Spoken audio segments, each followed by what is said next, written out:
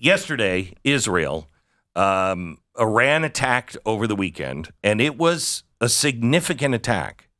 Uh, yeah. You know that scene in War Games where it shows all these missiles Yes. heading? Yeah. That's what it looked like. It was insane. 350 missiles, uh, missiles, drones, all that. It was. Yeah. So, a a significant attack. They're launching the missiles, some of them into space. We have video. Did we get the video in yet? Should. Um, of the the what do they call this? The Sea Dome. I think this. They have the Iron Dome, and then they oh, have it. it's the arrow system. Watch this. Watch this. If you're watching the Blaze, there. that is There's fireworks. I feel like uh, I feel like a million voices uh, were all screaming and then suddenly silenced. That is a hit in space. Exo-atmospheric. Wow. So that's the arrow system going up out of the atmosphere into space and hitting a missile as it's starting to come back in. I mean, it, it's one of the most incredible things I've ever seen. And I think this is the first time it was ever captured on film, right? I think it's the first time it's seen. This was the third interception in space, but the other two were last year when the Houthis launched Iranian missiles against Israel.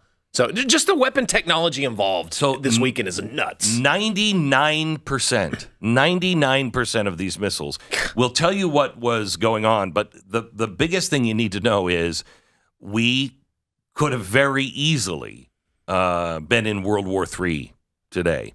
Um, I think because of the uh, Arrow missile system, which is a joint project between us and Israel, um, that's that really truly saved the day. If these 300 missiles would have struck the ground, it would have been World War, absolutely World War. Oh, if a quarter of these missiles Yeah. actually got through. Yeah. This is we're having a completely different conversation right now. Please tell us we have the Arrow system here. We I don't I don't think we do. It, it's Boeing was like the second half of the development of that, so it's also an American we have dibs on it. Uh, we have our own system, a different system that is kind of pre-deployed on, on naval ships all over the all over the world. So we do have the same capability. But That's the Aegis system, yeah, so right? it's it's that's that- not that's not shooting things from in space. It, it is. It is. I, Is it? I don't. Yeah, I don't remember. There's two parts of it. I don't remember the second part of it. Because the Aegis system on ships is just a buttload of bullets coming out. I mean, it's just uh, it's, It's- just round after round of big butt bu- bullets. Yeah, it's, it's called a BLB, a buttload of bullets. Yes. That's what we call it, Yeah. you know, Yeah, in yeah, the military yeah. terminology. Right, But sure, yeah. um, it was more than just the arrow system. So this is what's so amazing. You, you try to to really get the scope of this, you have to look at this graphic the IDF um, submitted of where all this all, all, all this uh, ordnance was coming from. Mm-hmm. Yemen. Iraq, Iran, Lebanon, all converging on multiple different fronts, all down on Israel. But they have a three uh, prong system. The, the the further one out is the Arrow 2 and Arrow 3 system, which can That's one shoot in space. that's the one that can reach up and touch you in space. The second one is called David's Sling. Now that shoots lower. Yeah, no, they, they have such cooler names I know, than ours do. does. They do. Um, that shoots like cruise missiles or like missiles that are flying low to the ground. Mm-hmm. Then you have the Iron Dome, which everyone is talking about. All of those things were firing all at once going on over the weekend. But you also had Israeli planes going up and firing on cruise missiles way the heck out there. Then you had U.S. planes and planes from the U.K. All of this converging in the skies over the Middle East over the weekend. so is it that Iran's missiles suck so much, or is this as amazing as it sounds? It's as amazing as it sounds. So I mean, cruise. These are these are these are current generation weaponry that we're talking about. Iran is exporting some of this weaponry, giving it to Russia, so Russia can attack Ukraine. So th- this is amazing. Ninety nine percent, you know, success rate does not happen. It, it doesn't. So I mean, granted, there's you know great technology here, but I think there's some God work going on I was as well. say, isn't there isn't there scriptures when uh, the whole world comes to attack that it is that God just protects, puts like a dome over No. over Israel. It was so effective that I think that Iran probably is rethinking some of their first strike strategy against Israel. Now you know that they've all gamed this out, and I'm sure part of this atta- attack was that that goes into their plans. Like they know that they want to take out Israel. If they had to, what do they need? Well, they threw everything but the Ayatollah's kitchen sink at Israel over the weekend. I think I was flying. I think I saw that hit the ground. The the kitchen, That was the sink. kitchen sink. They yeah. probably use that too. Yeah, yeah, with the disposal, which is weird.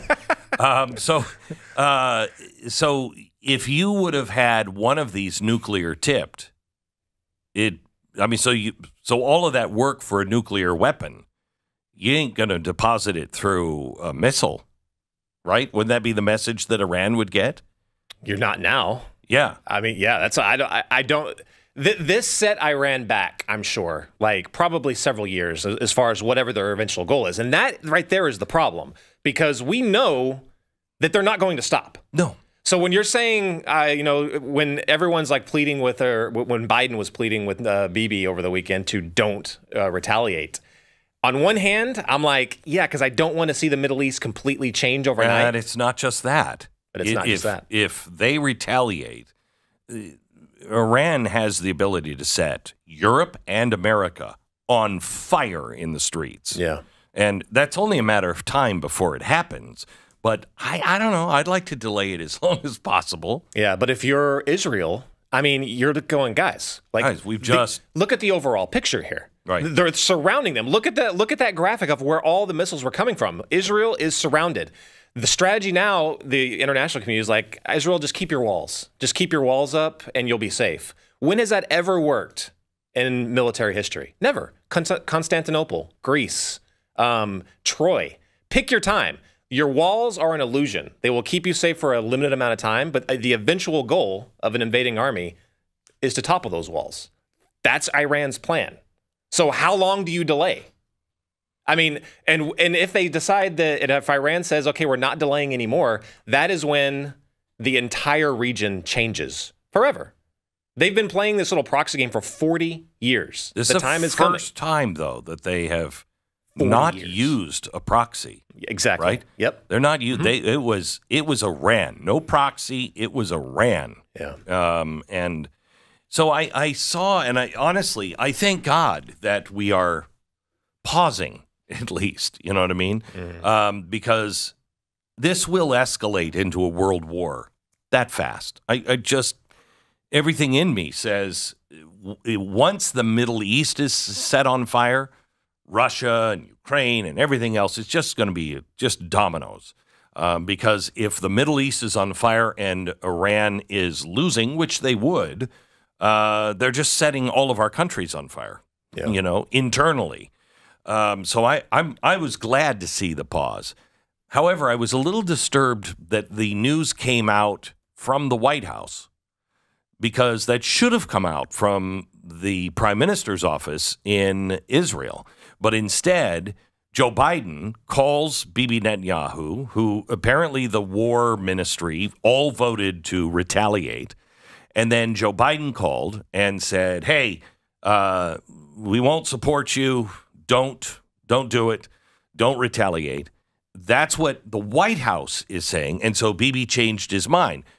Well, uh, gee, thanks for backing me into a corner. I mean, it might be a corner I like to be in, but that's not the way you deal with an ally, is it? No. Yeah. How they're dealing with this all across the board is not Right. what you're supposed to do. This attack happened, and I 100% believe this. This attack happened because of the Biden administration's overall foreign policy within the Middle East. When you, You think? when, when you when you refuse to stand up to their proxy, Hamas, when you coddle them as they have, things like this happen. When you give billions of dollars back to Iran, when you try to go back into the JCPOA, the nuclear agreement with them, when you are doing everything possible to say, let's play nice, let's play nice, when you refuse to stand up to a bully, this is the kind of crap that happens. And I'm not saying that we go off and militarily attack them. There is a formula for dealing with this. It it was actually working. The Abraham Accords was working. Yes. When you abandon that, this is the type of crap that happens. But if you could have the possibility of getting Trump back in and quelling all of this, I just I just want to make it to, you know, January in case he wins. If he doesn't win, it's I mean, we're just going to keep seeing more and more of this because you're right. It is our policies. We are weak. Um, we don't command any respect. And honestly, we're on the other side. we're giving money to Iran. Mm-hmm. So our tax dollars went to Iran and to Israel. So you can feel good on April 15th today that you paid for both sides of this. What do you guys make of the really strange way this all unfolded where it was like, hey, drones are gonna be there in a few hours. They're I all coming. This, I think that is that's that is in war. And correct me if I'm wrong, Jason. You would know more than than I would, but I think that was the signal from Iran. Hey, we're going to do this. Right. We're going to uh, because otherwise you surprise. You're like, hey, surprise. But they let They Israel. Yes, they telegraphed it. Let Israel know. Prepare your people for this, and then we're going to stop. Mm-hmm. And that gives that gives the uh, Israelis an opportunity to say, "Okay, well, we stopped you. Now don't do it again." Right, because then, And then then their statement right play- after was like, "Hey, by the way, that's the end of this. Well, Yeah. just want- so you guys know that's all we're doing. We now feel the matter is settled." Concluded. He said concluded. Concluded, yeah. Yeah. I mean, so uh, they're trying to say basically, "Hey, to our people, we did something." And then to Israel, hey, we told you it was coming. You blocked it all. Let's just call this call it a draw.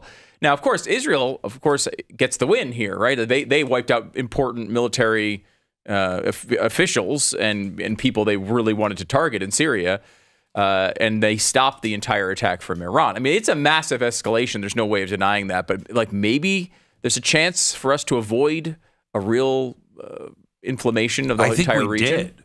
I think we did. You think it's over? You, th- you don't think? Uh, no, I mean, no, Netanyahu's no, no, no. been saying it's going for to go back to terror.